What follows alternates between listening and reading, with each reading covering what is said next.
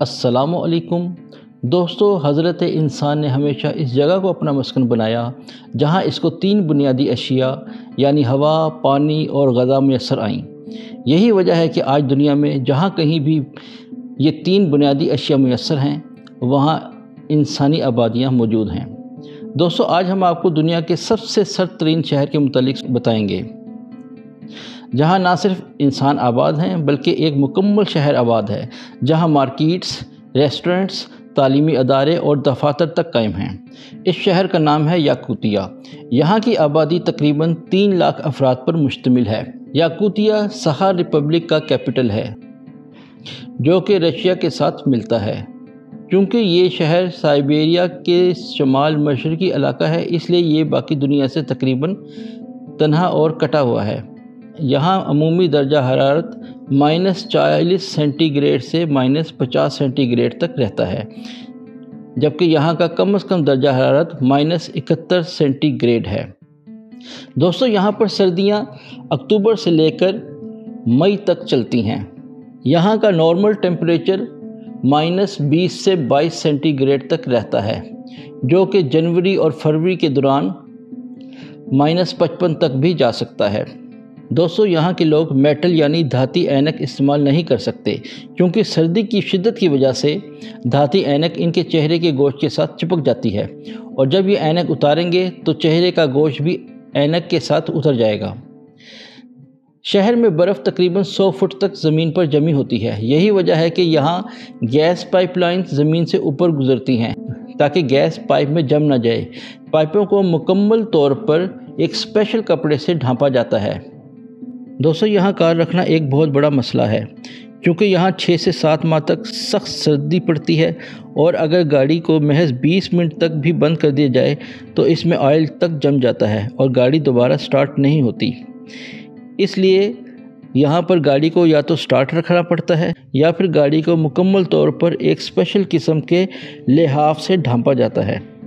یہ لحاف ایک خاص قسم کے کپڑے کا بنا ہوتا ہے جو باہر کی سردی کو گاڑی تک پہنچنے نہیں دیتا۔ اگر گاڑی کو زیادہ عرصہ کے لیے بند کرنا مقصود ہو، تو یہاں ان کو اسپیشل قسم کے گیراج میں بند کیا جاتا ہے، جو کہ ہاٹ گیراج کہلاتے ہیں۔ ان گیراج میں درجہ حرات کو کنٹرول کیا جاتا ہے تاکہ گاڑی گرم رہے اور اس کا آئل جم نہ سکے۔ دوستو، چونکہ ایک فریزر مائنس بیس درجہ سینٹی گریڈ پر آپریٹ کرتا ہے اور یہاں کا درجہ حرارت عمومی طور پر مائنس چالیس سے مائنس پچاس درجہ سینٹی گریڈ تک رہتا ہے، جو کہ ایک بہترین فریزر کا ٹمپریچر ہے۔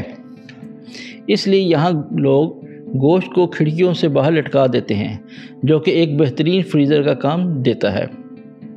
دوستو، یہاں سردی کا یہ عالم ہے کہ آپ پندرہ منٹ سے بھی زیادہ باہر گھوم لیں تو آپ کو سانس لینے میں دشواری شروع ہو جائے گی اور سکن برن کا مسئلہ بھی ہو جائے گا۔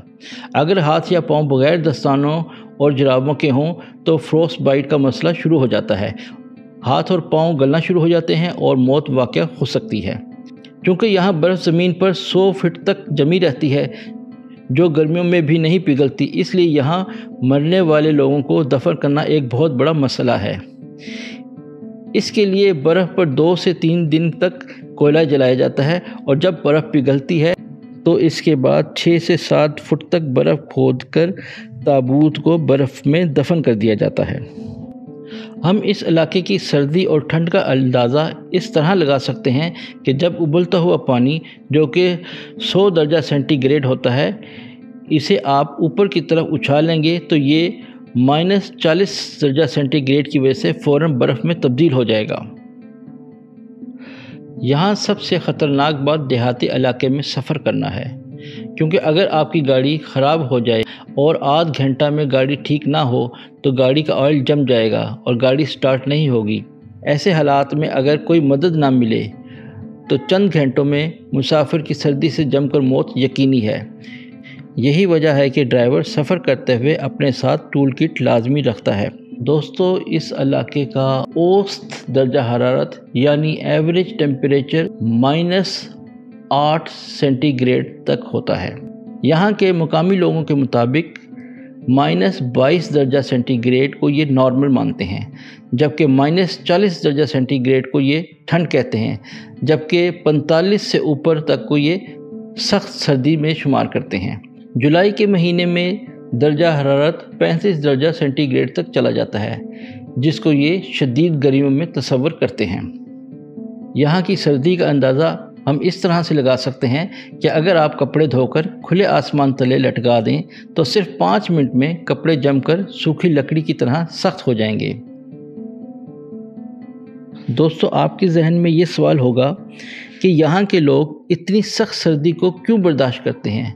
آیا وہ کیا وجہ ہے کہ وہ یہاں سے دوسرے علاقے میں شفٹ یا مائگریٹ کیوں نہیں ہو جاتے؟ تو اس کی وجہ یہ ہے کہ ان کے آبا و اجداد سینکڑوں سالوں سے یہاں پر آباد ہیں۔ اس لیے یہ اپنی مادری جگہ کو چھوڑنا نہیں چاہتے۔ اور دوسری سب سے بڑی وجہ ان کا ذریعہ معاش ہے، جو کہ یہاں کی وسائل سے جڑا ہے۔ دوستو، یہ علاقہ قدرتی مدنیات سے مالا مال ہے۔ یہاں پر گولڈ، ڈائمنڈ اور پلاٹینیم جیسے قدرتی مدنیات کی بہتات ہے۔ دنیا کا بیس فیصد یعنی ون ففتھ ڈائمنڈ یہاں سے دستیاب ہوتا ہے، جس کی وجہ سے یہاں کئی مائننگ کمپنیاں اور فیکٹریاں ہیں، جو ان اشیاء کو ایکسپلور کرنے کے لیے یہاں قائم ہیں۔ یہاں پر جولائی کے مہینے میں گرمی پڑتی ہے اور درجہ حرارت تیس سے پینتیس درجہ سینٹی گریڈ تک ہو جاتا ہے۔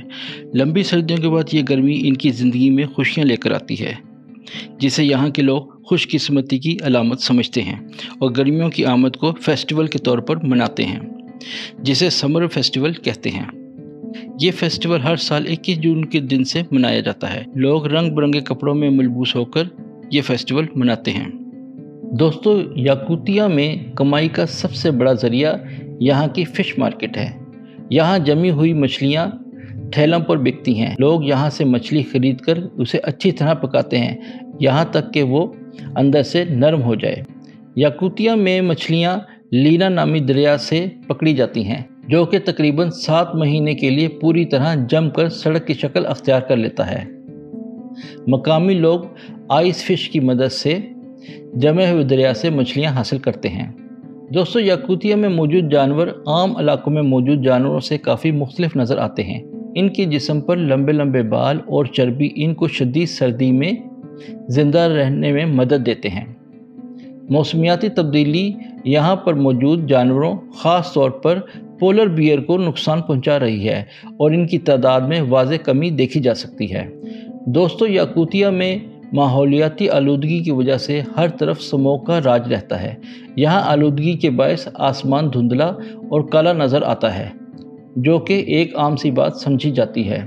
اس آلودگی کی بڑی وجہ آئل جمنے کے خوف سے ہر وقت سٹارٹ رہنے والی گاڑیاں اور وہ فیکٹریاں ہیں جو گھروں اور مختلف عمارتوں کو ہیٹ پرووائڈ کرتی ہیں۔ دوستو یاکوتیا میں سو فٹ تک پرما فروسٹ ہوتی ہے۔ یعنی یہاں پر زمین، برف اور ریت کا مکسچر ہے۔ اس لیے یہاں کسی بھی کام کے لیے کھدائی نہیں کی جاتی۔ تمام پائپ اور تاریں زمینی سطح سے اوپر بچھائی جاتی ہیں۔ یہاں تک کہ بلڈنگز وغیرہ بھی سطح زمین سے کافی اونچائی پر بنائی جاتی ہیں تاکہ برف کی اوپری سطح پگھلنے سے عمارتوں کو کوئی نقصان نہ پہنچے۔ گرمیوں میں جب پرما فروسٹ کی اوپری لیئر پگھلتی ہے تو اس میں موجود چالیس فیصد پانی اور ساٹھ فیصد ریت ہر طرف کیچڑ پھیلا دیتی ہے۔ پگھلنے والی سطح تقریباً چھ فٹ گہری ہوتی ہے۔ لیکن سائنسدانوں کو خطرہ ہے کہ تیزی سے آنے والی موسمیاتی تبدیلی کے سبب گرمیوں میں پرما فروس سولہ فٹ تک پگھل سکتی ہے، جس کی وجہ سے یاکوتیا میں موجود عمارتیں زمین بوس ہو سکتی ہیں۔ دوستو سائبیریا کے اندر کثیر تعداد میں موجود جیل اس کی وجہ شہرت بنے۔ رشیا کی حکومت اپنے خطرناک مجرموں کو یہاں بھجوا دیتی، چونکہ یہاں درجہ حرات منفی رہتا تھا، اس لیے مجرموں کے جیل توڑ کر بھاگنے کا احتمال نہیں ہو سکتا تھا۔ اور اگر کوئی مجرم ایسی غلطی کر بیٹھتا تو باہر موجود برفانی سردی ان کے لیے جان لیوا ثابت ہوتی۔ دوستو، امید ہے کہ آپ کو آج کا ٹاپک بہت پسند آیا ہوگا۔ ایسے مزید انفارمیٹیو ویڈیوز دیکھنے کے لیے دیکھتے رہیے این اے ڈی فیکٹس شکریہ۔